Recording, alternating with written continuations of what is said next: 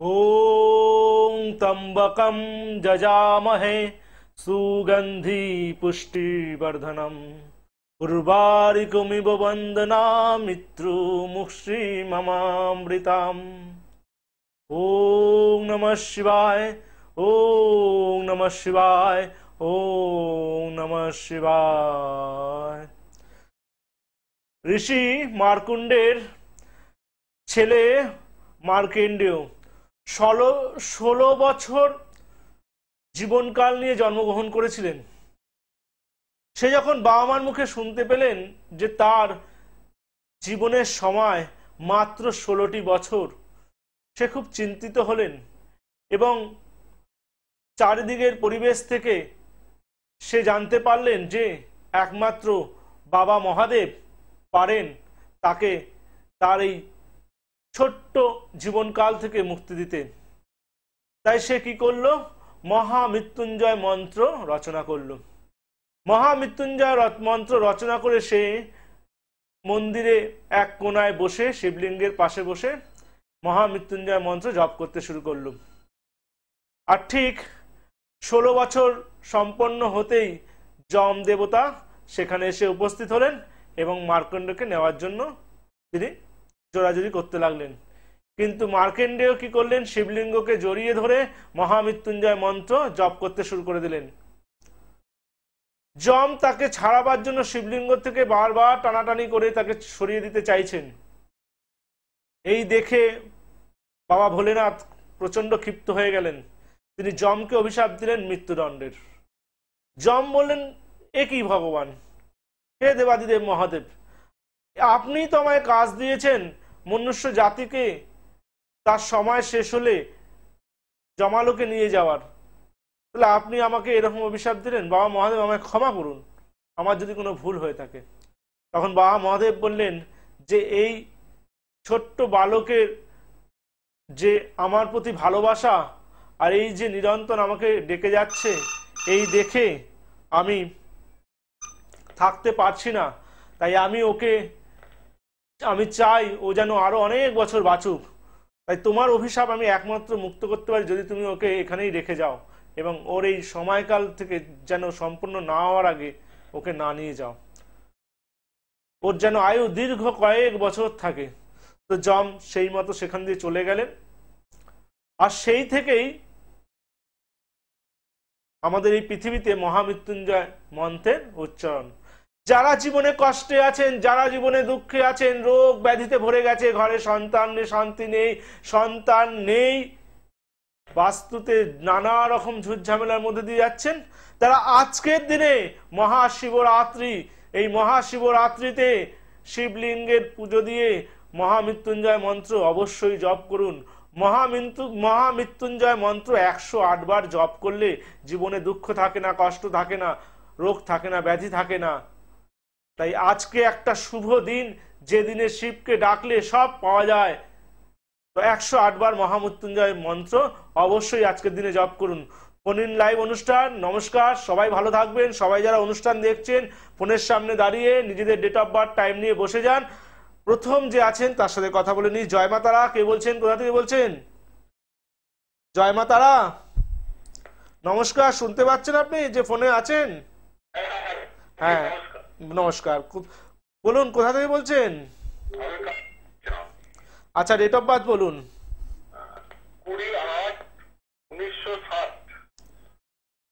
কুড়ি অগস্ট হ্যাঁ উনিশশো ষাট সিক্সটি নাইনটিন সিক্সটি আচ্ছা। নাইনটিন সিক্সটি কটার সময় জন্ম? রাত্রি এগারোটা পঞ্চাশ রাত্রি এগারোটা পঞ্চাশ। আচ্ছা। কোথায় জন্ম বললেন? আচ্ছা মানে বর্ধমান নেই তাই তো? হ্যাঁ হ্যাঁ বর্ধমানে কি নাম আপনার দাদা? তপন পাল। তপন পাল। আচ্ছা আপনার লগ্ন- লগ্ন রাশি জানা আছে দাদা? লগ্ন তো বিশ্ব লগ্ন কর্কট রাশি। একদম। বিশ্ব, একদম বিশ্ব লগ্ন কর্কট রাশি লগ্নে মঙ্গল এবং সপ্তম ঘরের মালিক মঙ্গল, সে লগ্নে বসে আছে। কর্কট রাশি, রাশিতে বুধ বসে আছে। লগ্নের চতুর্থে রাহু, শুক্র এবং রবি। এই জায়গাটাই তো সমস্যা দিল। যত দুঃখ, যত কষ্ট। দারিদ্র যোগ দারিদ্র যোগ তো গৃহে হয়ে গেল, গৃহে। যোগাযোগে, বন্ধুত্বে, বন্ধু থেকে ক্ষতি, বন্ধুর হাজার উপকার করবেন, কোনো লাভ নেই। আর গৃহে সুখ শান্তি নেই মান মান সম্মানের জায়গাটা ড্যামেজ হয়ে যাবে। হরস্কোপটা আপনার তো? গৃহে আছেন বাড়িতেই থাকেন নিজ বাড়িতে যেখানে জন্মেছিলেন? হ্যাঁ হ্যাঁ হ্যাঁ। সেখানেই আছেন শান্তিতে আছেন? তাহলে তো হরস্কোপে আপনার মিললই না।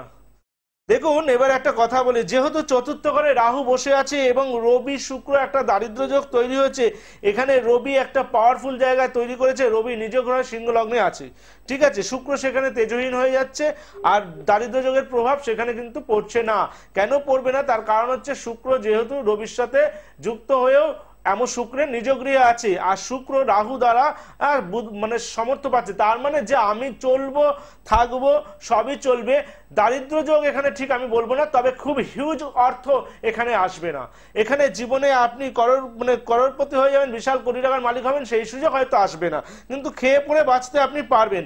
লগ্নের অষ্টমে বৃহস্পতি যা আপনার সক্ষেত্রে বসে আছে, এ থেকে বোঝা যাচ্ছে রোগ ব্যাধি থেকে আপনি চিরতরে যুদ্ধ করে বেঁচে যাবেন। যত বড় রোগী হোক না, আপনি লড়াই করে বাঁচতে পারবেন। ঠিক আছে? দশ নবম নবম ঘরে কেতু ভাগ্যের ঘরে কেতু ফাটকা ইনকামের জায়গা দেবে। হরস্কোপ মোটামুটি সব জায়গায় ভালো আছে কিন্তু বর্তমান সময়ে আপনার মঙ্গলের চলছে যা সপ্তমপতি অপ- অন্যদিকে দ্বাদশপতি তার মানে হয়ে গেল যে এই মুহূর্তে ব্যয় বেশি এবং জীবনের শান্তির জায়গায় কিন্তু বিঘ্নতা শরীর স্বাস্থ্য নিয়ে টেনশনের সময় শুরু হয়ে গেছে। আপনি কি নিয়ে প্রশ্ন করতে চাইছেন বলুন? আমি প্রশ্ন করছি আমার হবে কিনা? কি হবে কিনা? বাড়ি বাড়ি বাড়ি করতে পারব কিনা? তা আপনি তো বললেন আপনি বাড়ি করেছেন। হ্যাঁ গ্রামের বাড়ি আছে কিন্তু বাইরে শহরে হবে কিনা? শহরে হবে কিনা? এই যে এখানে একটা প্রথম প্রথমেই বললাম যে চতুর্থ ঘরে রবি রাহু বসে আছে সুখটা মানে গৃহ সুখটা বঞ্চিত। ফার্স্টে বললাম না আপনাকে ওই জন্য বললাম তাহলে তো ভুল হয়ে গেল। গ্রহণ দোষ নয়। রাহু চতুর্থ ঘরে রাহু থাকলে ফোর্থ হাউস হচ্ছে আমাদের গৃহ। সে গ্রহণ দোষ তো অনেক পরে। আগে আমাকে কি জানতে হবে? চতুর্থ ঘরে রাহু রাহু যখন আমাদের গৃহ সুখের জায়গায় থাকে, তখন আমাদের সেই গৃহ থেকে সুখ প্রাপ্তি হয় না। মানে আমার মনে গৃহের প্রতি একটা লোভ থাকলেও সেটাকে আমরা চিরস্থায়ীভাবে করতে পারি। ধরুন আমার একটা ইচ্ছা সুন্দর বাড়ি করব, কিন্তু সেটা আমার হচ্ছে না। কারণ চতুর্থ ঘরে শুক্র আপনার সুন্দর বাড়ির শখ। শুক্র হচ্ছে সৌন্দর্যপ্রিয়, কিন্তু আপনি পাচ্ছেন না।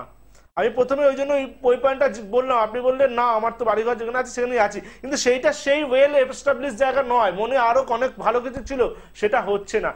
গৃহটা যেইভাবে যেই রকম চাইছেন, সেরকম পাচ্ছেন না, তাই তো? হ্যাঁ হ্যাঁ। যেরকম চাইছেন, পাচ্ছেন না। আপনি তো হরস্কোপটা মোটামুটি অনেককেই দেখেছেন, যেটা বুঝতে পারলাম। হরস্কোপে কোথায় গ্রহণযোগ, কোথায় দারিদ্র্যযোগ সেটা আপনি জানেন।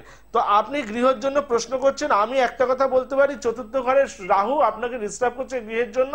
আপনি যদি গৃহকে ঠিক রাখতে চান মানে গৃহকে নতুন করে বাড়ি করতে চান, তাহলে আমি অবশ্যই বলব, আপনি একটি চুনি ধারণ করতে পারেন, সকালবেলা সূর্য প্রণাম করতে পারেন, এবং পাখিদের খাবার খাওয়াতে পারেন। মানে আল মানে আলটিমেট গল্প হলো যে আপনাকে রবিকে বুস্ট আপ করতে হবে।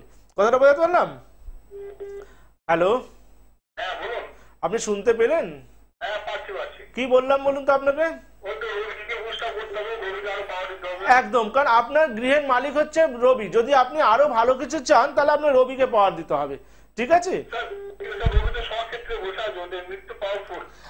একটা কথা ভুলে যাচ্ছেন রবি সক্ষেত্রে বসলে রবি ফোর ডিগ্রিতে বসে আছে চার ডিগ্রিতে চার ডিগ্রিতে তো গ্রহ তো দুর্বল।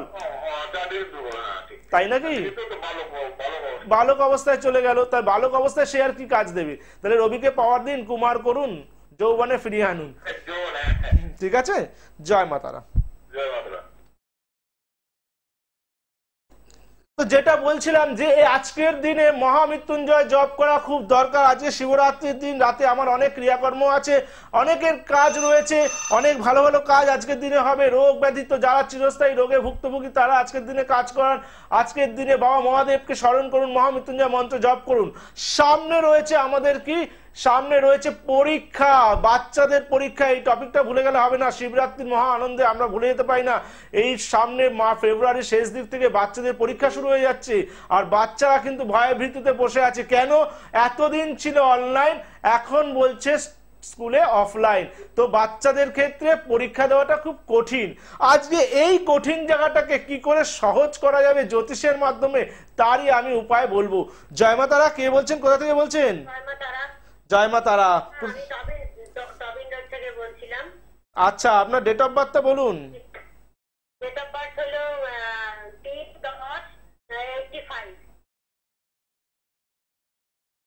আচ্ছা তিন দশ।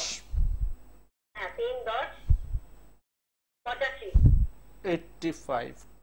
কটার সময় জন্ম?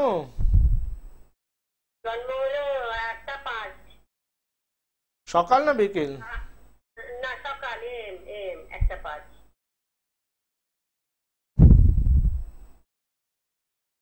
মানে ভোরবেলার কথা বলছেন? হ্যাঁ হ্যাঁ রাত্রিবেলা সেটাই বলুন রাত্রিবেলা। রাত্রিবেলা কারণ এম যখন বলছে মানে রাত্রিবেলা। যাক কর্কট লগ্ন আর মেষ রাশি জানেন তো আপনি? কর্কট লগ্ন মেষ রাশি রাশিতে রাহু বসে আছে আর রাশির সপ্তমে কেতু দৃষ্টি দিচ্ছে। তাহলে হলো হলো মানসিক চিন্তা প্রচণ্ড করেন। প্রচণ্ড চিন্তিত আপনি। কেন টেনশন করেন এত? টেনশন করা হয়। প্রচণ্ড টেনশন করেন। সব পঞ্চম ঘরে শনি। শনি এখানে মঙ্গলের ঘরে বসে আছে এবং মঙ্গল দ্বিতীয় ঘরে শুক্রের সাথে বসে আছে। তৃতীয় ঘরে বুধ রবির সাথে বুধাদিত্য যোগ। এবং সপ্তম ঘরের মালিক সে কি করছে? পঞ্চমে বসে আছে। তা দেখুন, এখান থেকে একটা জিনিস তো পরিষ্কার হচ্ছে যে এইটটি ফাইভে জন্ম আপনার এখানে শনির পজিশনও ভালো, কিন্তু যেটা আছে সন্তান, যে আপনার যে সন্তানের জায়গাটা, সেই জায়গাটা সন্তানকে নিয়ে আপনি বেশি চিন্তা করেন, স্বামীকে নিয়ে বেশি চিন্তা করেন, তাই তো? আপনি সংসার নিয়ে মেন কথা হচ্ছে মুদ্রা কথা হলো যে আপনি সংসার নিয়ে প্রচণ্ড চিন্তা করেন। সবাইকে নিয়ে আপনি চিন্তা করেন কিন্তু আপনি জানেন সবার আপনাকে চিন্তা করার মতো সময় নেই। বলুন কি জানতে চাইছেন? জানতে চাইছি যে ঠিকঠাক হচ্ছে না আর ভীষণ মানে পারিপার্শ্বিক ভীষণ অশান্তি চলছে। কি কি ঠিকঠাক হচ্ছে না?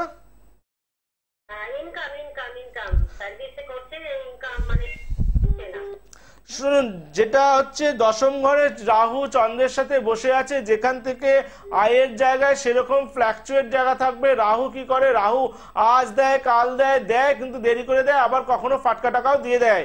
এখন সমস্যা হচ্ছে, যেহেতু চন্দ্র রাহু যোগ হয়ে রয়েছে, এখানে একটা গ্রহণযোগ হওয়াতে আয়ের দিক থেকে আপনার, আমি খুব একটা ভালো দেখতে পাচ্ছি না, বা আপনি খুব ভালো আয় করবেন, এটা হতে পারে না, কিন্তু হাজবেন্ডের ঘর আমি দেখি শনি, সেখানে বৃহস্পতি বসে আছে, তার জীবনে উন্নতির যোগ রয়েছে, কিন্তু সেই সময়টা এখনও দু তিন বছর বাকি আছে, অনেক প্রভূত উন্নতি তার জীবনে আসছে। সেখান থেকে আপনার ইনকাম সোর্স আসবে, কারণ লগ্নের সপ্তমে বৃহস্পতি আপনার লগ্নকে দেখছে, এতে বোঝা যাচ্ছে যে একটা সময় পরে গিয়ে আপনার জীবনে প্রভূত উন্নতি হবে, কিন্তু বর্তমান সময়ে কেতু আপনার চতুর্থ ঘরে বসে যাওয়ার জন্য আপনার গৃহের পারিপার্শ্বিক লোকের থেকে আপনার হিংসা এবং শত্রুতা হওয়ার সম্ভাবনা রয়েছে। ঠিক আছে? তো এই জায়গাগুলো একটু ডিস্টার্ব আছে, এগুলোর এমনি কিছু আমার মনে হয় না কোনো অ্যাস্ট্রোলজি আপনার দেখানোর দরকার আছে বা কোনো রেমেডি নেওয়ার দরকার আছে। আপনি গৃহ সুখের জন্য একটা কাজ করতে পারেন।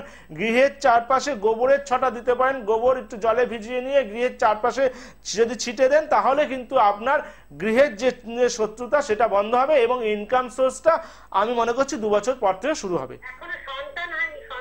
সন্তানের জায়গায় শনি বসে আছে সন্তান নিয়ে চিন্তা করেন বললাম তো আপনাকে। আপনি তো তখন উত্তর দিলেন না। আমি তো বললাম যে আপনি সন্তান নিয়ে এবং স্বামী নিয়ে চিন্তা করেন। সন্তানের জায়গাটা তো আপনার দুর্বল দেখেই তো আমি জিজ্ঞেস করলাম আপনাকে। আপনি উত্তর দেননি।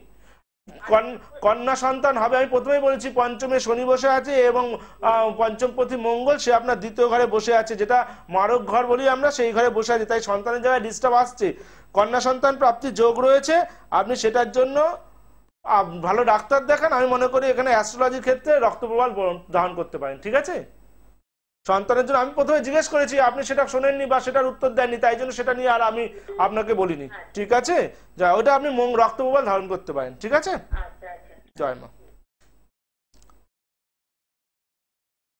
তো সন্তানের সামনে পরীক্ষা সন্তানদের পরীক্ষা নিয়ে আজকের মেন টপিক আমি বলতে চাইছি যারা অনলাইন পরীক্ষা থেকে অফলাইনে ঢুকে গেছে তাদের জন্য বলি তারা সবার আগে তো পড়াশোনা একটু মন দিতে হবে, তারপর উপায় আমি বলছি, উপায় কি করবে সেটা দেখতে হবে। তবে একটা কথা মনে রাখবেন বন্ধুরা, যে সন্তানকে শিক্ষিত করা খুব দরকার।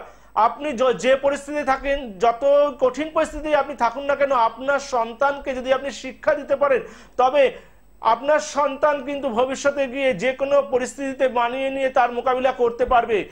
মনে রাখবেন যে একটা সোনা, সে যদি কাদাতেও পড়ে থাকে, তার মূল্য হানি হয় না। তাই আপনার সন্তানকে যদি আপনি শিক্ষিত করতে পারেন যাকে প্রকৃত শিক্ষিত বলে, পড়াশোনা শিখিয়ে প্রকৃত মানুষ যাকে বলে করতে পারেন, তাহলে আজকে আপনি যে পরিস্থিতি থাকুন না কেন, আগামী দিনে সে কিন্তু সোনা হয়ে বেরোবে। তাই শিক্ষার বিষয়ে আমাদের গুরুত্ব দেওয়া উচিত।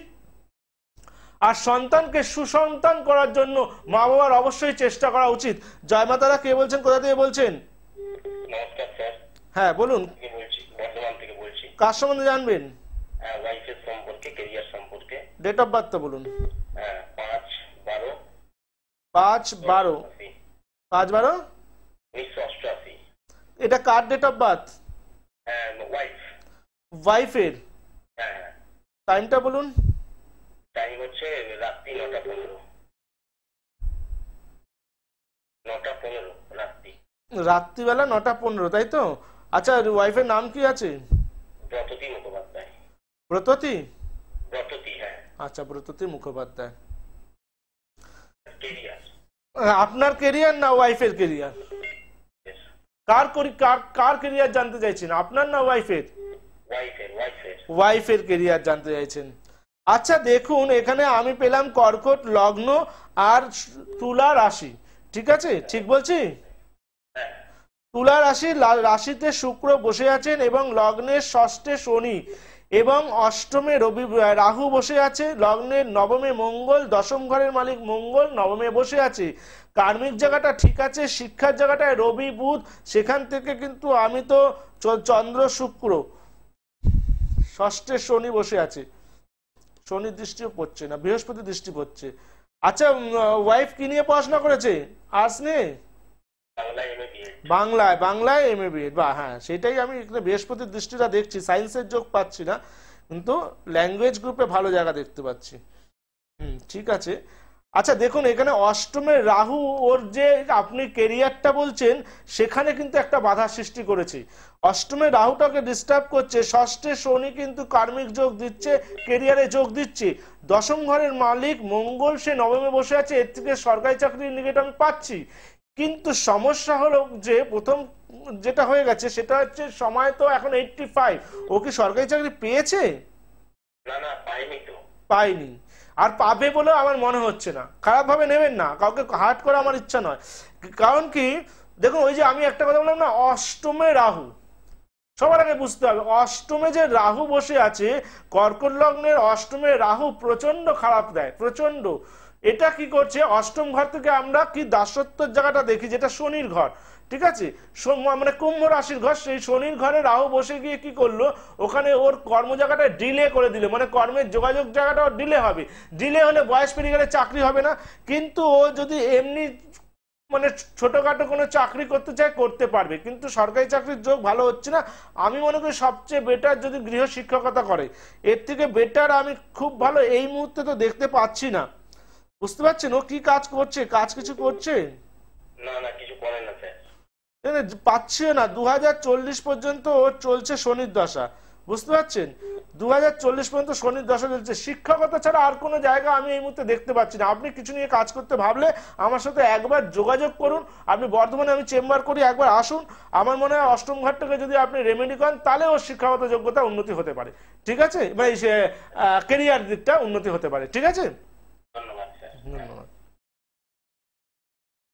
তো যারা নাকি এই সময় পড়াশোনা নিয়ে চিন্তা করছে, তাদের বলব একটি গাঠ হলুদ।